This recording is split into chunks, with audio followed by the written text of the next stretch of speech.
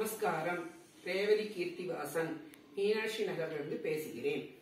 என்னுடைய பேரன் பேத்திகள். நான் ஸ்ரீனிவாஸ். நான் சுவாதி லட்சுமி குழந்தைகளே சில வாரங்களாக நம்ம ஔவையார் எழுதிய ஆத்திச்சூடியில சில கதைகள் பார்த்தோம்.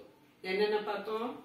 அறம் செய்ய விரும்பு ஆறுவது சினம். இயல்வது கரவேல் ஈவது விளக்கேல் உடையது விளம்பேல் ஊக்கமது கைவிடேல் எண்ணெழு திகழேல் ஏற்பது இகழ்ச்சி. இது வரைக்கும் நம்ம பார்த்தோம். அடுத்தது என்ன?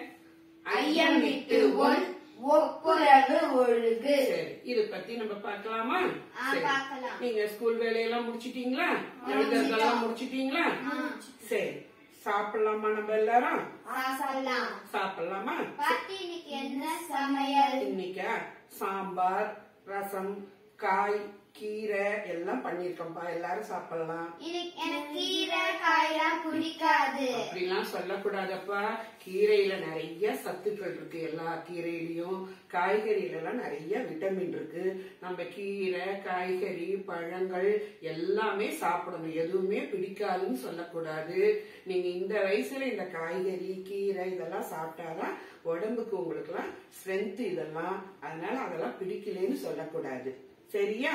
சரி. சாதம் கீழே வீணாக்க கூடாது சரியா? இந்த சாதத்துக்கு எவ்வளவோ கஷ்டப்படுறோம். இந்த கொரோனா காலத்தெல்லாம் நிறைய பேர் வந்து வேலையே இல்லாத குழந்தைங்களை வச்சுட்டு சாப்பாட்டுக்கெல்லாம் எவ்வளவோ பேர் கஷ்டப்படுறா.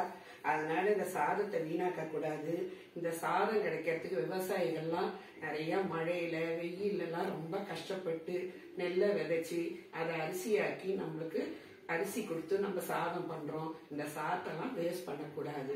சரியா? சரி. சரி. யாரோ வாசல்ல கூப்பிடுறா போல் இருக்கு. பாத்துட்டு வாப்பா. யாரோ ஒருத்தர் பெரியவர் வந்து சாப்பாடு கேக்குறாரு ஐயோ பாவம் பசிக்கு சாப்பாடு கேக்குறாரு கொஞ்சோண்டு அவருக்கு சாப்பாடு போடணும். அம்மாட்ட கொஞ்சோண்டு சாதம் போட சொல்லலாம்ப்பா. அம்மா வந்து அப்புறமா கொடுக்கலாம்னு சொல்லிட்டா. பசின்னு வீடு தேடி வர்றவங்களுக்கு நம்ம சாப்பாடு போடணும்ப்பா. அதுதான் நம்மளுக்கு நல்லது. ஔவையார் கூட ஆத்திச்சூடியில ஐயமிட்டு உண்ணுன்னு சொல்லியிருக்காங்க. வீடு தேடி வர்றவங்களுக்கு பசின்னு சாப்பாடு போடணும். உலகத்துல எவ்வளோ தானங்கள் எல்லாரும் செஞ்சா கூட அன்னதானம் தான் புண்ணியம் நம்மளுக்கு.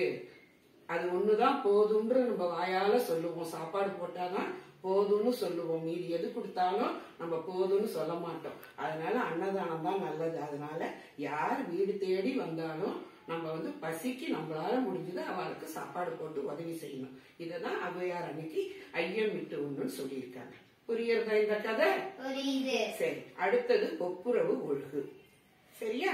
நீங்க காலம்பர ஸ்கூலுக்கு ரெண்டு பேரும் போயிட்டு இருக்கேன் போயிட்டு இருக்கும்போது வழியில என்னமோ கிடக்கிறது. சுவாதி அங்க ஏதோ ஒரு இது இருக்கு பார் பரிசு அதுக்குள்ள நிறைய பணம் இருக்கே. நம்ம போய் இப்ப ஸ்கூல்ல வந்து நம்ம பிரின்சிபல் கிட்ட கொடுத்துடலாம். ஆ சரி. ஸ்கூல்ல கொண்டு போய் கொடுக்க போறீங்களா அந்த பணத்தை?